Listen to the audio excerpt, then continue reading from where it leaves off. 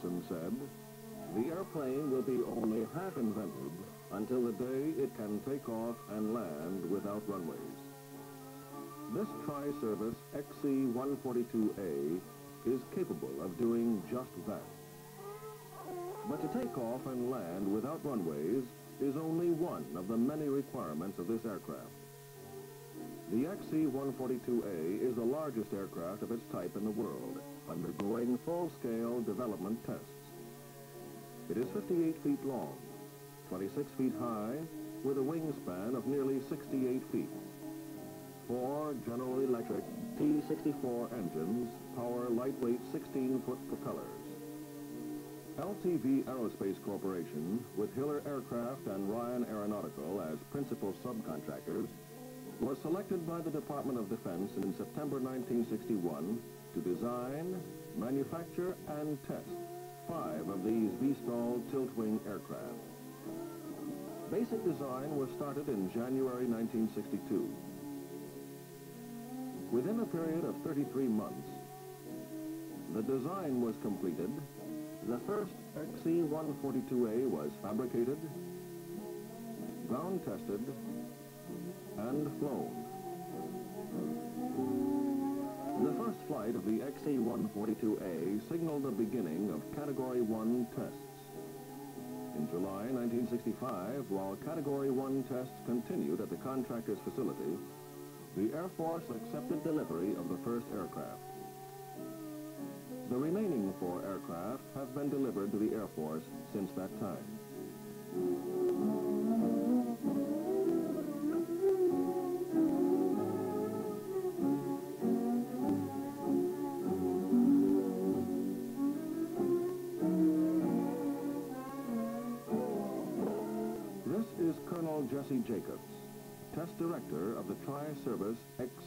XC-142 V/STOL program.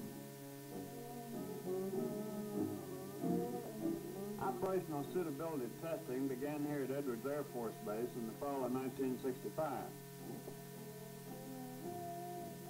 Since that time, many test hours have been logged. These tests were flown at several locations in the state of California and offshore in the Pacific Ocean. In earliest tests at and around Edwards, low STOL passes and hovers were made over Rosamond Lake. Hovers were made over rubberized forward area landing mats.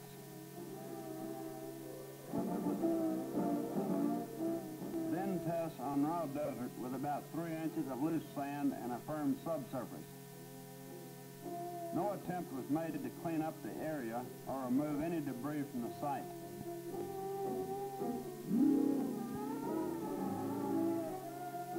During STOL takeoffs, ingestion was minimized if the wing angle was limited to 25 degrees or less.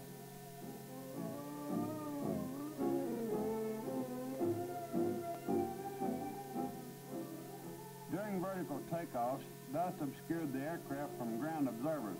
However, the pilot maintained visual contact with the ground at all times.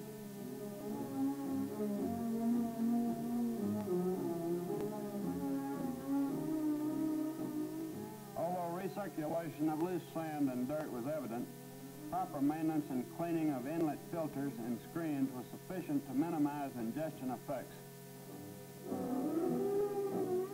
Following these tests at Edwards, the aircraft was flown to Point Mugu in February 1966. Off-runway side tests were conducted here. During STOL landings and takeoffs in sand, deep ruts were made by the main gear.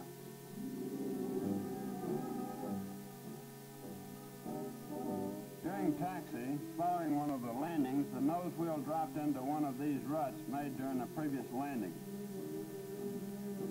The wheel buried up to the doors. Unable to move forward, the aircraft took off vertically, freeing itself from the rut.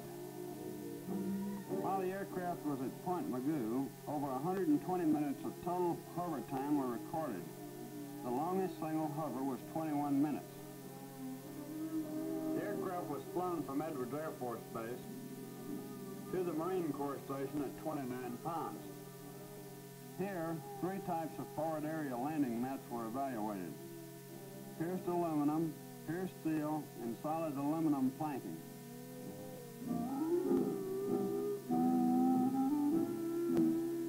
El Centro is the site for cargo and paradrop testing. This extraction drop of a 3,000-pound container was from 5,000 feet, speed of the 142 was 125 knots. The load exited smoothly. As the load moved out, the nose of the aircraft pitched up approximately one degree, but was easily corrected by the pilot. For gravity drops, the aircraft was trimmed to a 5-degree nose-up attitude. The 2,070 pounds load was dropped at 65 knots from 5,000 feet. As the load exited, the aircraft was easily trimmed. Load rollout and chute deployment were good.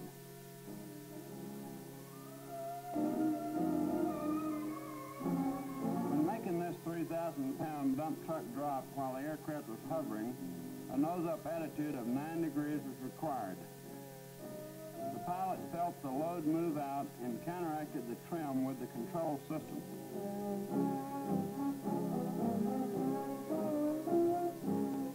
Dump trucking a 3,100 pound load from 10 feet at 32 knots caused no appreciable reaction to the aircraft.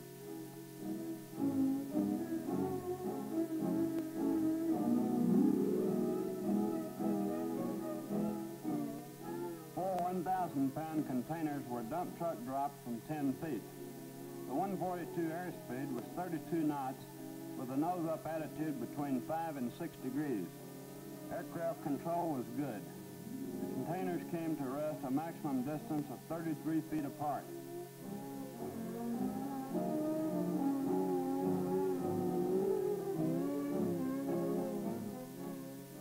Series of successful dummy drops were made through the escape hatch, 10 paratroopers jumped from the rear cargo door. The aircraft was at 10,000 feet and 65 knots airspeed. There was no interference from the tail prop.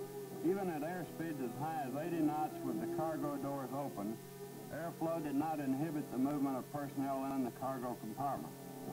On May the 18th, 1966, the XC-142 made its initial carry operation from USS Bennington. Over 50 vertical and STOL takeoffs and landings were made with winds over the deck varying from 10 to 35 knots.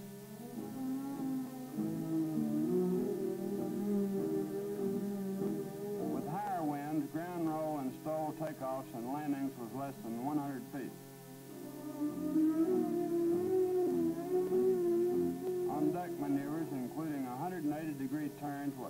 Accomplished. All landings and takeoffs use less than half the angle deck space. The effect of varying combinations of temperature and altitude were studied at Lake Tahoe and Bishop, California. Altitude at Bishop was a little over 4,000 feet. The aircraft was loaded to gross weights ranging from 37,000 to 41,500 pounds.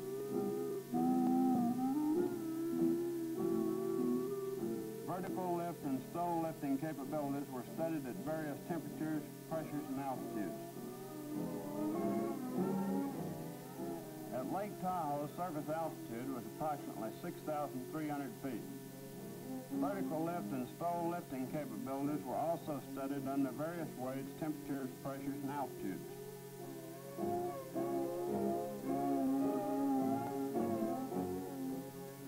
After accomplishing several dummy pickups from over land and water, the first live retrieval was made in October 1966 when a trained frogman was lifted from a life raft. The pickup was made from a hover altitude of about 125 feet. No problems were encountered from propeller downwash. Tests indicated that rescue could be accomplished through both the forward escape hatch and over the rear end. In November and December 1966, the aircraft was operated successfully from the amphibious transport dock at the USS Ogden and from the aircraft carrier Yorktown. On the Ogden, both conversions and reconversions were made at different angles to the ship. 360-degree taxi turns were easily accomplished on the 80 by 200-foot landing pad. Eight vertical takeoffs and landings were successfully accomplished. On the Yorktown, with a wind over the deck of 15 knots, STOL landings and takeoffs were made in the length of the flight deck, without maneuvering the aircraft back to takeoff position.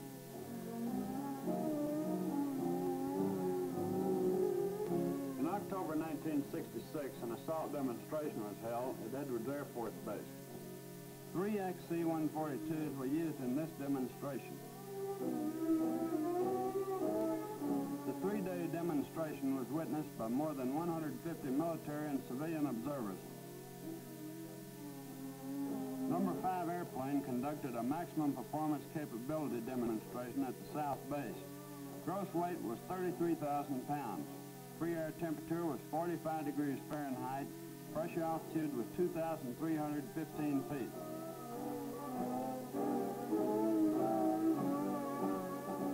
Included in this demonstration were a conventional takeoff with a climb to 25,000 feet in 5 minutes and 40 seconds. The XC-142 executed a verticircuit, that is, a vertical liftoff to hover, a conversion to conventional flight, and reconversion to hover and vertical landing.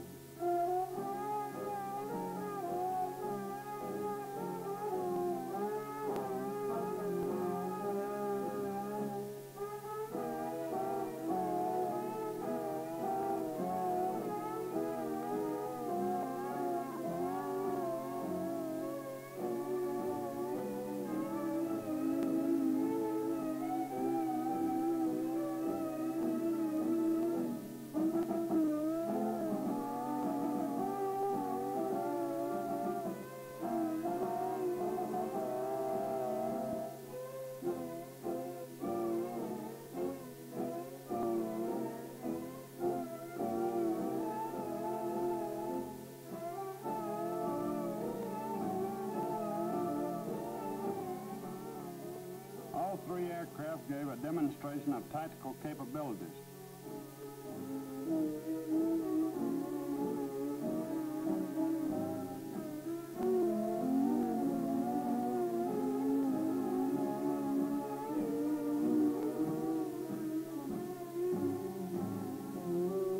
Two of the aircraft performed simultaneous STOL landings on short slope strips.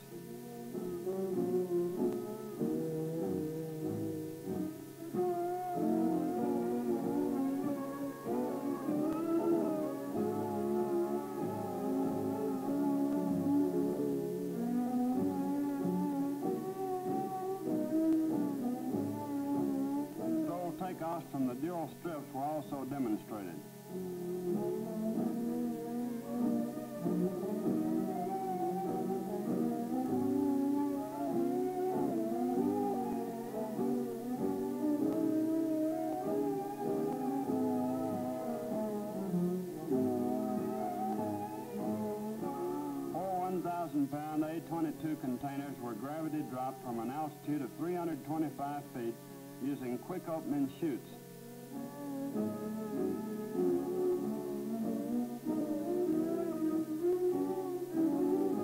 Next, an assault landing capability was demonstrated. A Jeep and a 106 millimeter recoilless rifle weighing 3,500 pounds were unloaded.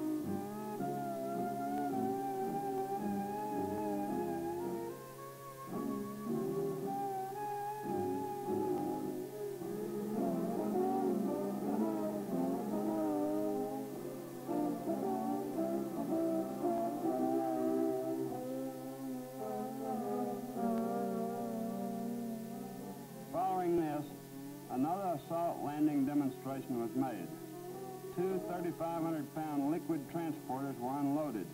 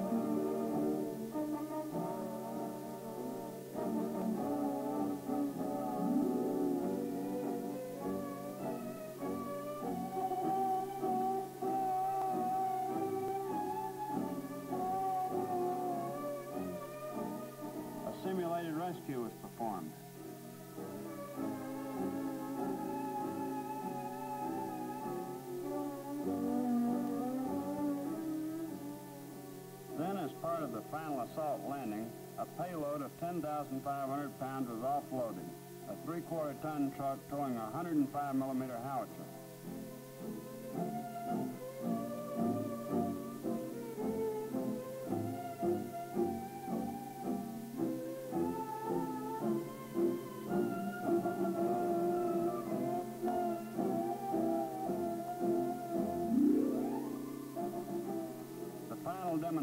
Was taxi maneuverability, followed by vertical takeoff and conversion to forward flight.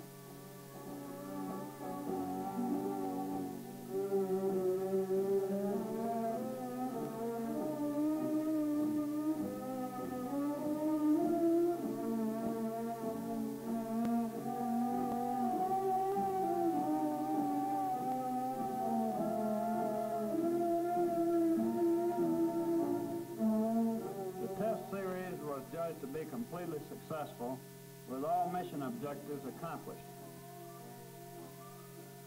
A major portion of operational suitability testing was demonstrated, but Category 2 testing will continue through late 1967.